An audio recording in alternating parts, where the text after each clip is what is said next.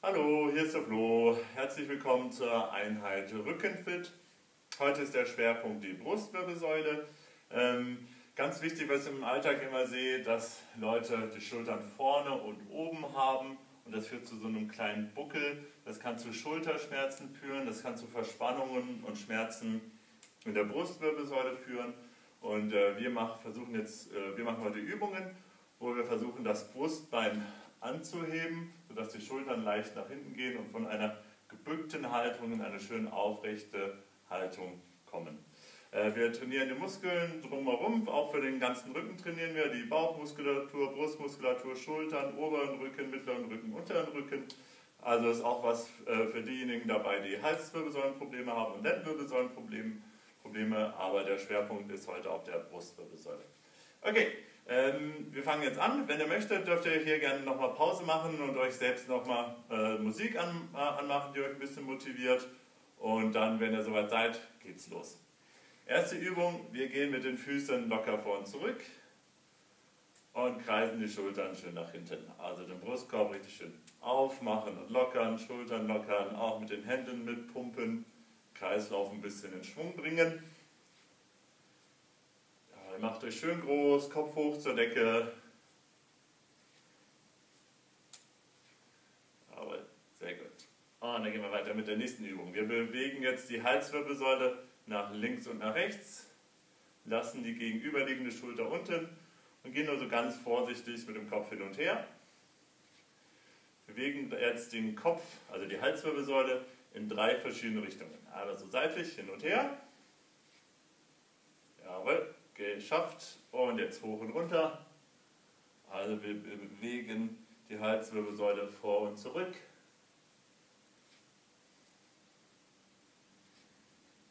Immer noch mit den Füßen vor und zurück gehen, von der Ferse auf den großen Zeh. Jawohl. Und die letzte Bewegungsrichtung, wir gehen mit der Nasenspitze nach rechts und nach links, rotieren also die Halswirbelsäule. Und das sind die drei Bewegungsrichtungen, die man mit der Halswirbelsäule machen kann. Nach links und nach rechts, vor und zurück und nach links und nach rechts rotieren. Genau das gleiche machen wir jetzt mit der Brustwirbelsäule. Weiter mit den Füßen vor und zurück. Und dann gehen wir mit den Armen und den Schultern nach vorne und dann mit den Armen und Schultern nach hinten. Also wir bewegen jetzt die Brustwirbelsäule vor und zurück. Wenn man die Brustwirbelsäule bewegen möchte, muss man die Schultern bewegen. Also Brust raus Brust rein. Und einen Buckel machen und dann richtig schön aus dem Buckel raus. Schulterblätter nach vorne, Schulterblätter nach hinten.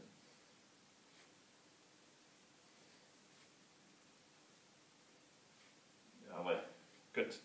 Jetzt haben wir die Brustwirbelsäule vor und zurück bewegt, jetzt wollen wir sie nach links und nach rechts bewegen. Also wir gehen mit den Schultern jetzt, eine Schulter geht hoch, eine Schulter geht runter und wir gehen mit den Füßen weiterhin locker vor und zurück.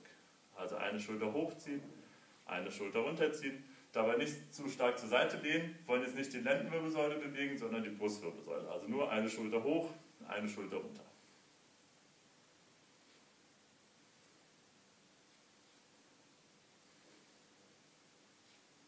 Jawohl. So, jetzt müssen wir noch die ähm, Brustwirbelsäule rotieren und dafür gehen wir einfach ganz locker mit den Armen hin und her. Füße dürfen jetzt flach auf dem Boden bleiben. Eine Schulter geht nach vorne, eine Schulter geht nach hinten. Wenn ihr es schafft, ruhig mit einem Arm hinten am Körper vorbei. Alles ganz locker hin und her. Und wenn wir die Übung geschafft haben, dann haben wir dreimal die Halswirbelsäule bewegt, dreimal die Brustwirbelsäule und dann haben wir die Hals- und Brustwirbelsäule schon mal schön mobilisiert in alle Richtungen. So, jetzt machen wir gleich mit der Lendenwirbelsäule weiter und das machen wir jetzt auf dem Boden. Dafür gehen wir in einen Vierfüßlerstand. Hände unter die Schultern, Knie unter die Hüfte und wir machen einen Katzenbuckel und einen Pferderücken. Also jetzt besonders auf die Lendenwirbelsäule achten, das Becken nach vorne, also nach unten und nach oben kippen. Bauch runter, Bauch rein. Jetzt, damit wir die Brustwirbelsäule und die Halswirbelsäule auch noch mitnehmen, Achten wir jetzt noch auf die Schultern, also Schulterblätter auseinander und zusammen, Ellenbogen bleiben durchgestreckt. Und die Halswirbelsäule wollen wir auch noch benutzen, also den Kopf hoch und runter. Schön große Bewegung, den ganzen, ganze Wirbelsäule durchbewegen. Ruhig ein und ausatmen durch die Nase. Jawohl, geschafft. Jetzt machen wir das Ganze nach links und nach rechts. Das heißt also, wir gehen mit der Schulter zur Hüfte und mit der Hüfte zur Schulter. Und der Kopf versucht an der Schulter vorbeizuschauen. Und das Ganze machen wir zur anderen Seite. Gehen dabei langsam hin und her. Schulter zur Hüfte, Hüfte zur Schulter. Wir stellen uns vor, dass wir mit hier in der Taille versuchen wir was einzuklemmen.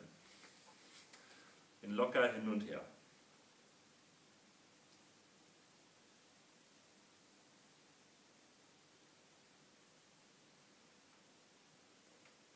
Sehr gut. Okay, geschafft. So, jetzt wird es ein bisschen anstrengender. Machen jetzt ein paar äh, Kräftigungsübungen. Erste Kräftigungsübung ist meine Lieblingsübung für die Bauchmuskulatur, ist der Unterarmstütz. Ist auch sehr gut für die Schultern, um die Schultern zu stabilisieren und äh, die Brustwirbelsäule. Also, wir gehen mit den Ellenbogen unter die Schultern, strecken die Beine aus und halten. Auf die Plätze, fertig und los geht's. Halten. 30 Sekunden lang. Beine richtig schön ausstrecken, Po anspannen, Bauchnabel rein. Jetzt nicht mit dem Brustkorb runterfallen, sondern die Brustwirbelsäule nach oben drücken. Also jetzt versuchen wir so einen kleinen Buckel zu machen. Letzten 10 Sekunden. Ruhig weiteratmen, nicht die Luft anhalten. 3, 2, 1 und Pause. Wieder zurück in den Vierfüßlerstand. Hände unter die Schultern, dürft auch gerne auf die Fäuste gehen, wenn das angenehmer für euch ist. Und jetzt gehen wir diagonal mit einem Arm und mit einem Bein nach oben. Kurz halten, Spannung halten, langsam absetzen und dann die andere Seite. Wenn ihr mit dem Arm und dem Bein nach oben geht, ein bisschen darauf achten, dass ihr jetzt nicht ins Hochkreuz geht, sondern immer so ein bisschen Spannung halten im Bauch. Bein ausstrecken, Arm ausstrecken und Seite wechseln. Dürft gerne auch im eigenen Rhythmus machen, lieber zu langsam als zu schnell. Richtig schön strecken, Wirbelsäule langziehen. Wenn ihr hinten mit dem Bein hochgeht, nicht mit der Hüfte nach oben, sondern die Hüfte unten lassen, Bein richtig schön strecken, Arm strecken. So ein, zwei Zentimeter schafft es bestimmt noch ein bisschen höher. Jede Seite noch einmal.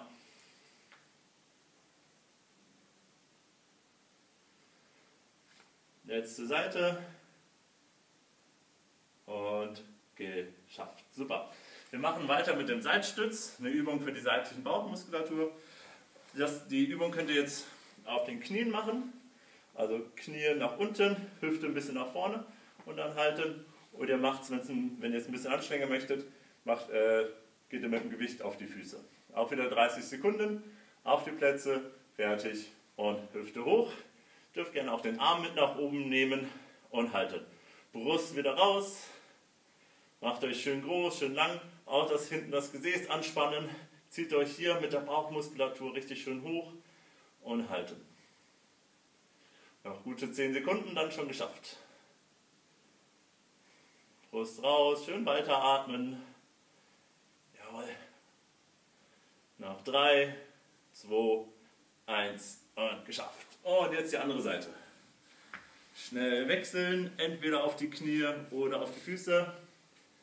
Auf die Plätze, fertig. Und wir ziehen uns hoch. Auch den Arm wieder hoch, Brust raus und halten. Po anspannen, Bauchnabel rein. Hälfte schon geschafft. Ruhig weiteratmen. Noch gute 10 Sekunden. Spannung halten. Noch 5, 4, 3, 2, 1 und Pause. Jawohl, gut. Wir gehen wieder in den Vierfüßlerstand.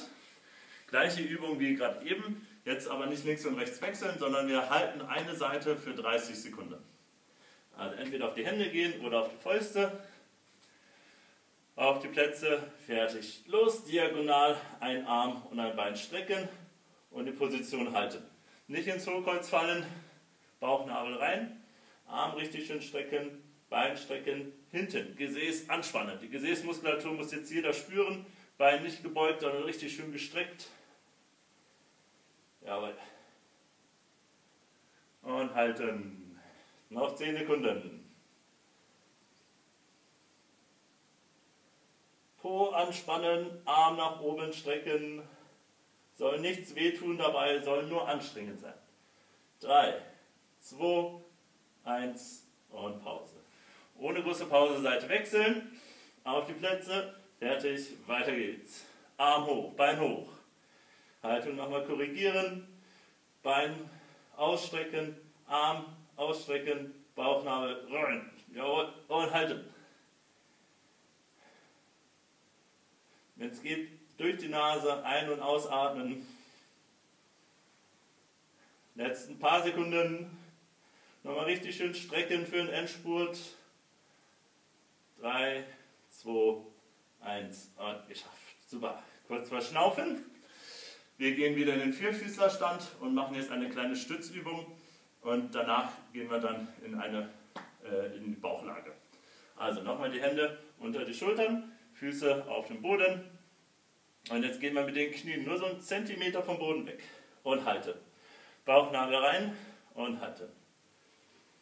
Hände fest in den Boden rein und jetzt drücken wir das Gesäß nach oben zur Decke. Beine durchstrecken und Gesäß weit nach oben. Brustkorb auch durchstrecken und langsam wieder runter. Knie kurz über dem Boden halten. Halten, halten, halten. Und wieder nach oben. Brustkorb durchstrecken, Arme durchstrecken, Beine so gut es geht durchstrecken.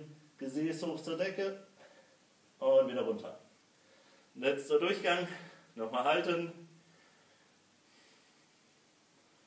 Und nach oben hoch, hoch. Und wieder runter und halten. Noch 5, 4, 3, 2, 1 und absetzen. Super, gut gemacht. Dürft jetzt gerne auch Pause machen, mal einen Schluck trinken und äh, dann geht es gleich weiter in Bauchlage. Wenn ihr weitermachen möchtet, macht einfach mit. Wir gehen in Bauchlage, noch auf den Bauch. Jetzt ist ganz entscheidend, Po anspannen und Bauchnabel einziehen. Also kein Hohlkreuz machen, sondern Bauchnabel einziehen. Dürft ihr euch vorstellen, dass ihr eine kleine Münze habt unterm Bauchnabel und der Bauchnabel soll so ganz leicht von der Münze weg. Ja, also immer schön Spannung halten in der Lendenwirbelsäule. Arme strecken, Bein strecken und jetzt wie gerade eben diagonal mit dem Arm und dem Bein nach oben. Dabei nicht hin und her wackeln, sondern nur Arm und Bein anheben. Die Hüfte dabei in den Boden reindrücken. Die Hüftknochen, Beckenknochen, die haben immer Kontakt zum Boden. Also nicht so hin und her wackeln, sondern richtig schön gerade bleiben. Kopf schaut nach unten. Gleich geschafft. Richtig schön strecken, Arm strecken, Bein strecken.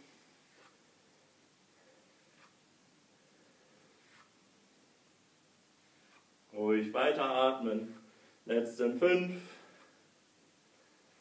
Doch drei, zwei, eins und Pause. Super. Dann gehen wir nach oben, nehmen die Füße flach auf den Boden, die Knie ein bisschen weiter auseinander und dann probiert man mit dem Gesäß weit nach hinten zu gehen auf die Fersen. Und dann gehen wir wieder langsam nach vorne und gehen mit dem Gesäß mal ganz vorsichtig, soweit es geht, nach unten. Arme sind durchgestreckt. Und dann wieder langsam nach hinten, nur so weit, wie es die Knie zulassen. Und dann langsam wieder nach vorne. Vorsichtig mit der Hüfte nach unten, nur so weit, wie es für euch angenehm ist. Und dann langsam wieder nach hinten. Noch einmal nach vorne, vorsichtig runter und vorsichtig nach hinten. Alle Übungen sollen gut tun. Also wenn irgendeine Übung dabei ist, wo ihr Schmerzen bekommt, macht einfach mal kurz Pause und macht, besteigt dann bei der nächsten Übung wieder ein. Okay, wir gehen wieder in Bauchlage. Po anspannen, Bauchnabel rein, also hier unten wieder richtig schön fest werden.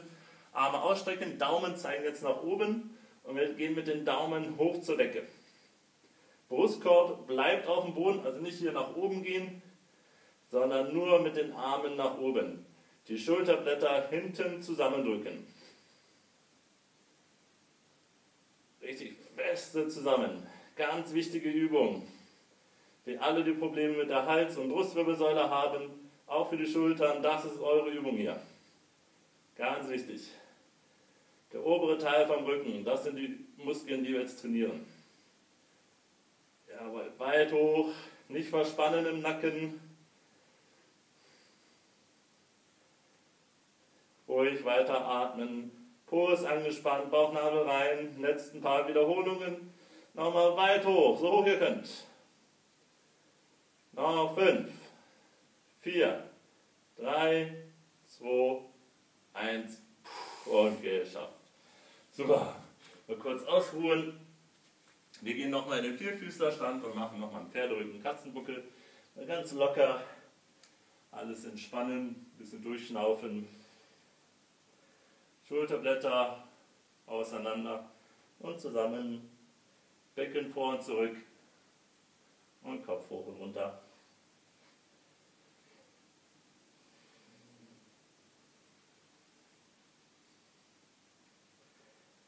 Okay, noch zwei anstrengende Übungen und dann haben wir es schon geschafft. Auf den Bauch, Po wieder anspannen, Bauchnabel rein. Und jetzt gehen wir mit den Händen nach hinten und versuchen einen äh, Schürzengriff zu machen. Und dann gehen wir nach vorne und versuchen einen Nackengriff zu machen, bis sich die Hände hinterm Nacken berühren. Kopf ist angehoben, Brustkorb liegt auf der Matte und wir bewegen jetzt nur die Arme.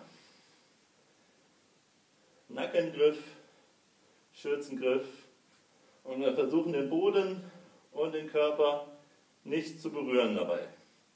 Wenn das nicht gelingt, ist nicht schlimm. Versucht aber nicht den Boden und nicht den Körper und nicht den Kopf zu berühren. Schulterblätter weit nach hinten ziehen, Brust raus, Po ist angespannt, Bauchnabel einziehen. Jawohl, gleich geschafft. Letzten paar Sekunden, noch ein bisschen halten. Fünf, vier, drei, zwei, eins und geschafft. So, letzte anstrengende Übung für heute. Wir gehen jetzt in eine Liegestützposition und versuchen die zu halten. Das dürft ihr auch gerne auf den Knien machen, also entweder so halten oder, wenn es geht, ruhig hier auf die Zehenspitzen. Ja? Letzte anstrengende Übung für heute, noch 30 Sekunden. Auf die Plätze, fertig und in den Stütz. Po anspannen, Bauchnabel rein. Nicht die Schulterblätter zusammen, sondern ausnahmsweise die Schulterblätter nach außen ziehen. Und ruhig weiteratmen. Richtig die Hände fest in den Boden reindrücken, auch die Knie durchstrecken, Körperspannung halten. Noch fünf, vier, drei, zwei, eins und geschafft. Super. Füße flach auf dem Boden, Knie müssen weiter auseinander. Ach, mir ist auch schön warm geworden. Und wir gehen mit den Armen, kriechen wir langsam nach vorne. Und mit dem Gesäß gehen wir so gut es geht auf die Fersen, machen uns ganz klein und atmen durch die Nase ein und aus.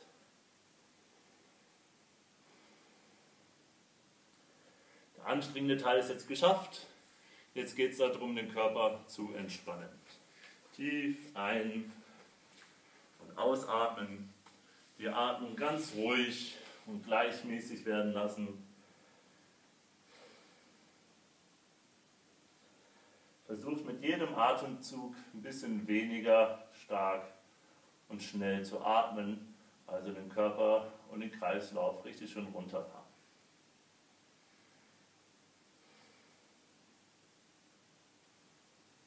Dürft die Augen gerne zumachen.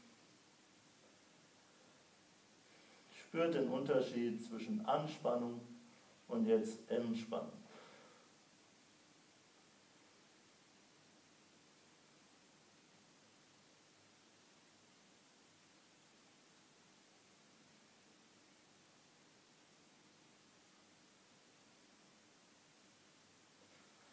Dann richten wir uns wieder ein bisschen auf in den Vierfüßlerstand, Arme nach vorne und gehen mit dem Brustkorb Richtung Brudel. Jetzt ist die Hüfte nicht hinten auf den Fersen, sondern die Hüfte ist jetzt über den Knien. Und den Brustkorb jetzt richtig schön runterfallen lassen. Nimmt eine bequeme Position ein. Dürft auch locker so ein bisschen hin und her gehen. Tief ein- und ausatmen, entspannen.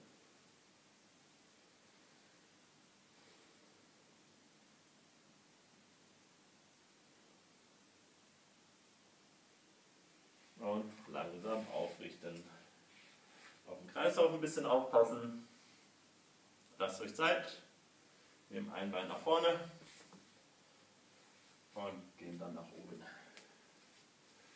Ruhig ein bisschen Zeit lassen und zum Abschluss nochmal ganz locker mit den Armen hin und her. Alles lockern und entspannen.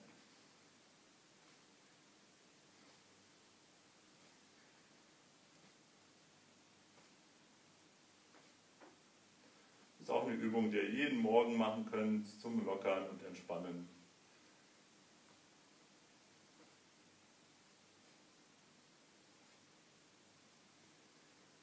Super, wunderbar. Noch ein kleiner Tipp von mir zum Schluss, wenn ihr draußen spazieren geht, nehmt, äh, nehmt ruhig die Arme ein bisschen mehr mit. Ich sehe viele, die gehen, gehen nur so, aber ruhig, richtig die Arme mal mitnehmen beim Gehen. Ja? Und auch die Schultern hier oben mitnehmen, richtig aktiv auch mit dem Oberkörper gehen und richtig aktiv walken. Nicht so schön unsportlich gehen, sondern richtig schön sportlich Arme mitnehmen. Dann entsteht viel mehr Bewegung in der Halswirbelsäule, in der Brustwirbelsäule, in den Schultern und dann wird da auch nochmal alles gleichzeitig mit trainiert. Vielen Dank, dass ihr mitgemacht habt. Schaut euch ruhig auch mal die anderen Videos an, die wir gemacht haben und macht die auch mal nach. Ist für jeden was dabei. Hockergymnastik, Schulterfit, ähm, Rückenfit für die Lendenwirbelsäule, Bauchexpress, äh, Stretch Express. Ist für jeden was dabei. Ruhig einfach mal ausprobieren. Wenn ihr, ähm, wenn ihr irgendwelche Wünsche habt, was, äh, was ihr noch gerne an Kursen hättet ähm, oder an Stunden hättet, dann äh, schreibt mir einfach ähm, in den Kommentaren unten dazu, äh, was für ein Video ihr gerne hättet und dann setze ich das bald für euch um. Ähm, viel Spaß noch zu Hause, bleibt fit, gesund und bis bald. Ciao!